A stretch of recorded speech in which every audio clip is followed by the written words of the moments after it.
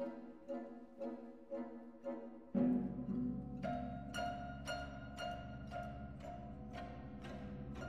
you.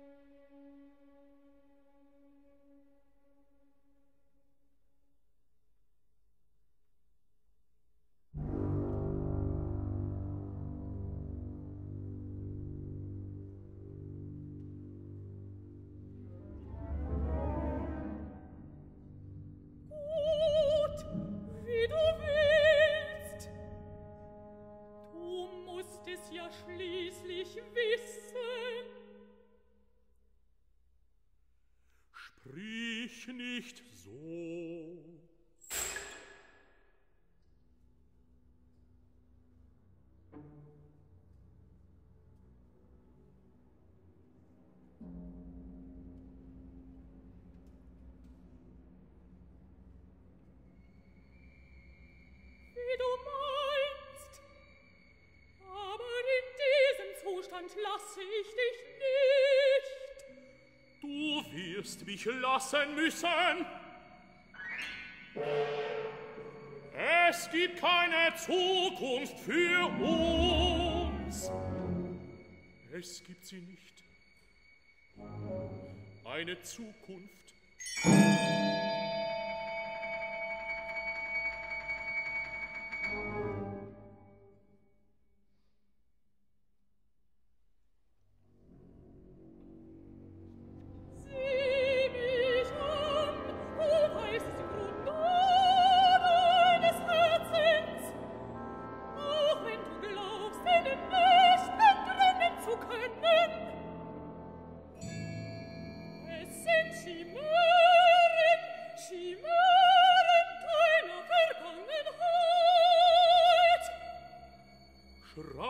schreiben, um zu sterben, schreiben, sterben.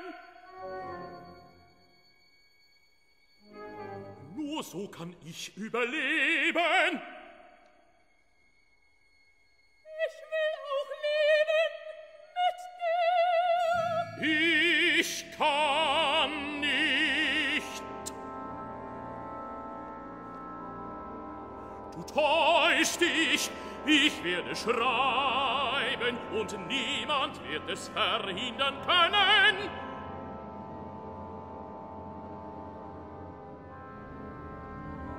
Nichts, nichts als Sprache um mich herum.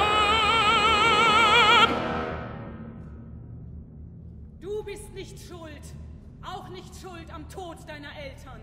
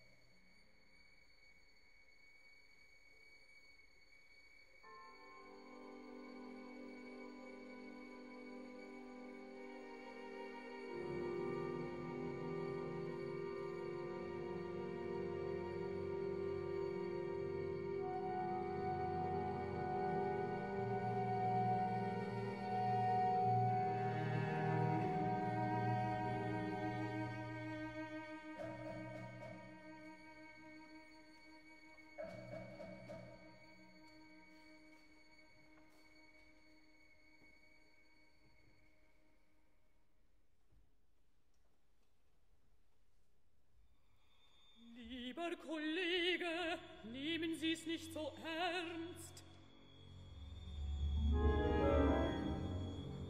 Vergessen Sie wenigstens für einen Augenblick die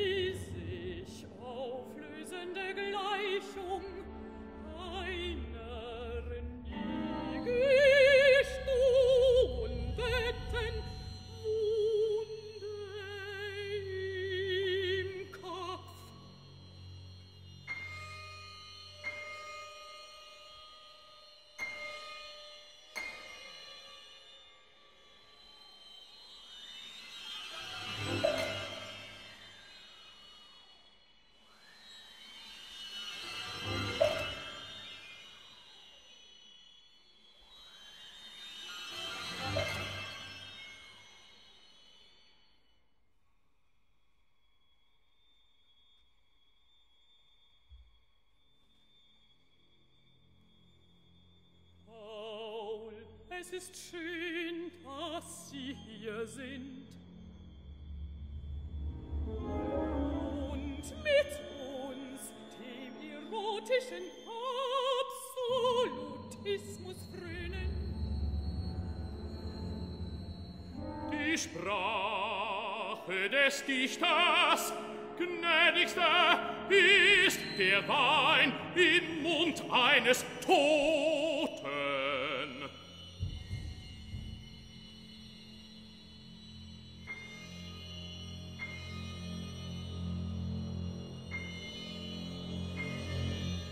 Noch in jedem großen Text findet sich die Glocke der menschlichen Zunge, nie singend, aber immer erträumt. Der Witz. Wer erzählt uns heute den Witz der Stunde? Wer gibt die kalte Parole aus, dass sie erröte?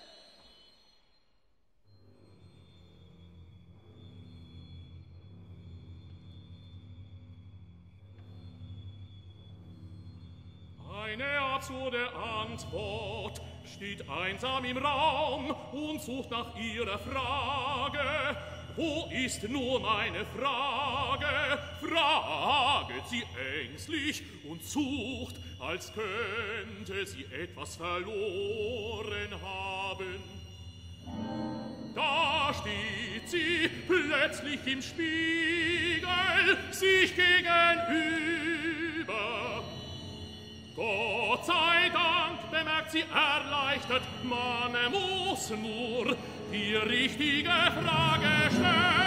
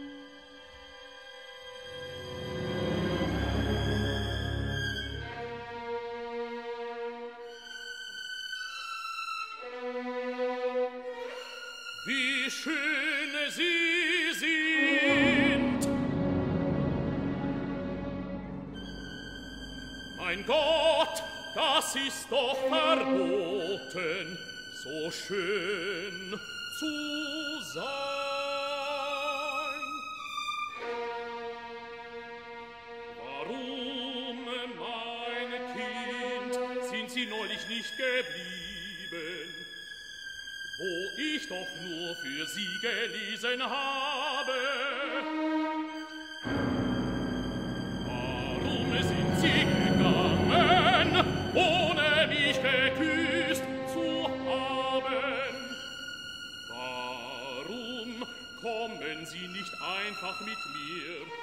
Ich werde ihnen alles zeigen, alles, was in ihrem Herzen wohnt. Um und seist die Ewigkeit.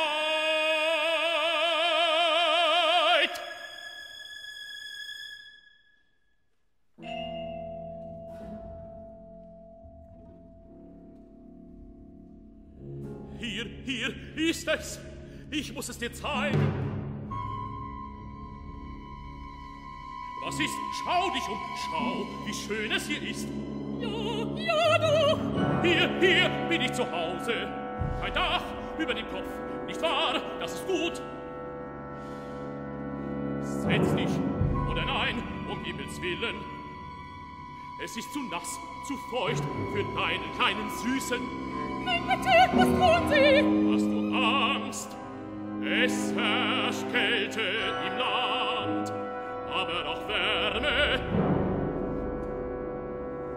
solltest einmal im Sommer hier gewesen sein. Aber ich will nicht! Was heißt das? Du willst nicht, liebst du mich nicht, meine Schöne? Liebst du nicht das Leben? Die Weite, die Ewigkeit? Was? Sag, dass du den Himmel willst. Du willst, nicht wahr? Alles wird erblühen. Auch die Sterne werden blühen, wenn ich dich liebe. Sieh mal einer an, der Kollege Dichter.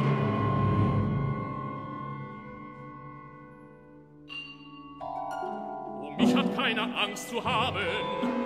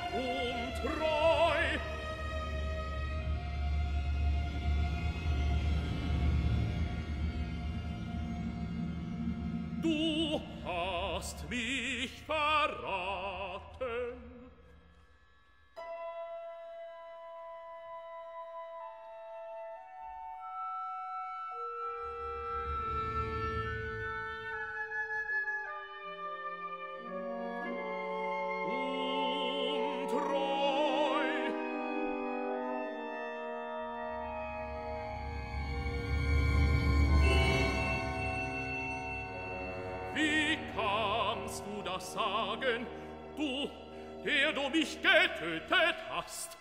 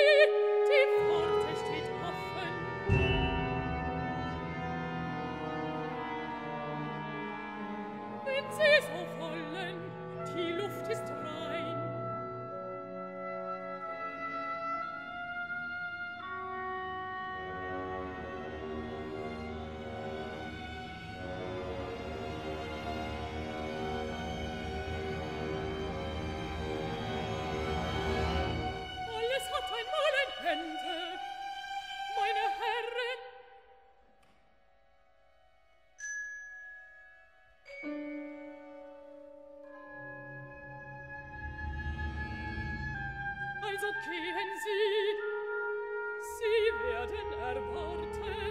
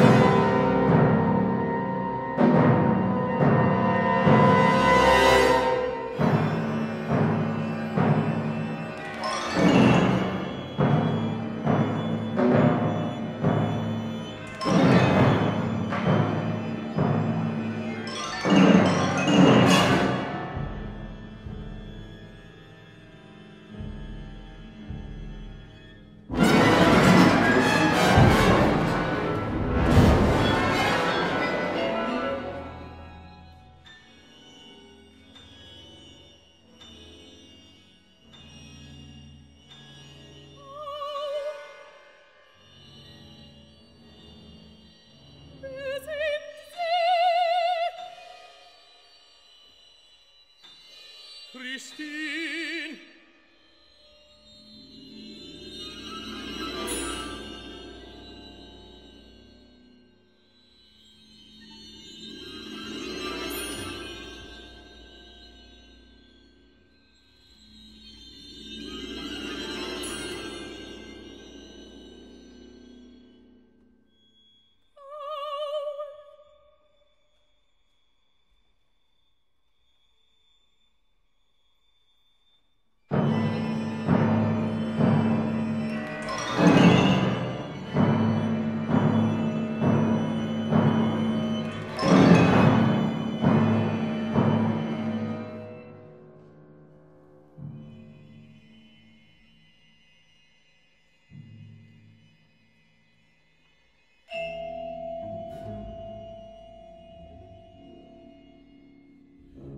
Ich bin dir nachgegangen. Verzeih. Ich hatte Angst um dich.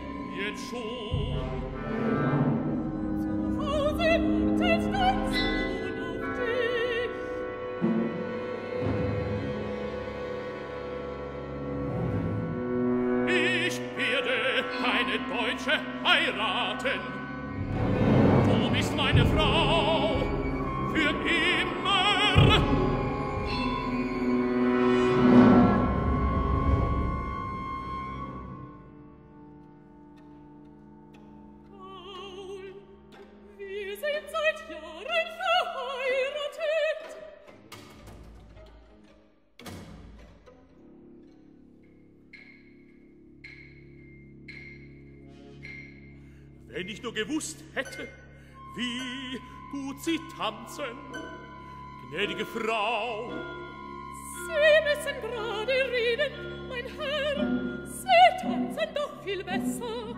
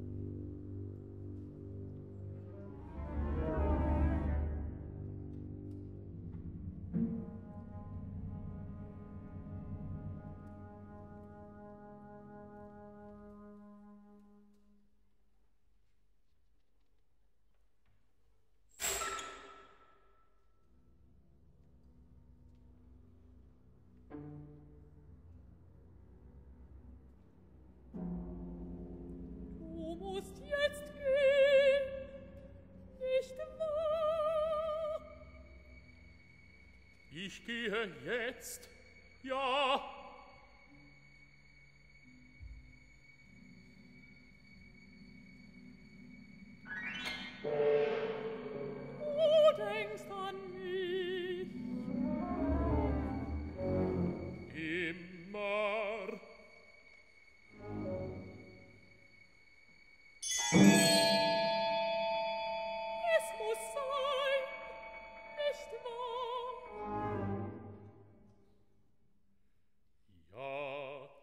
Es muss.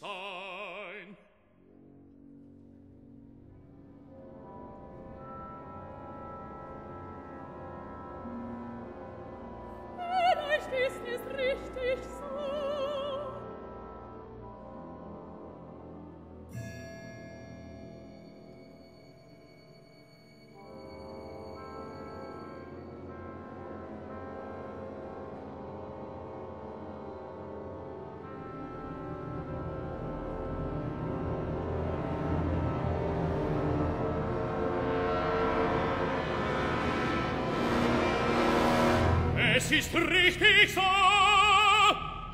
Es ist richtig so.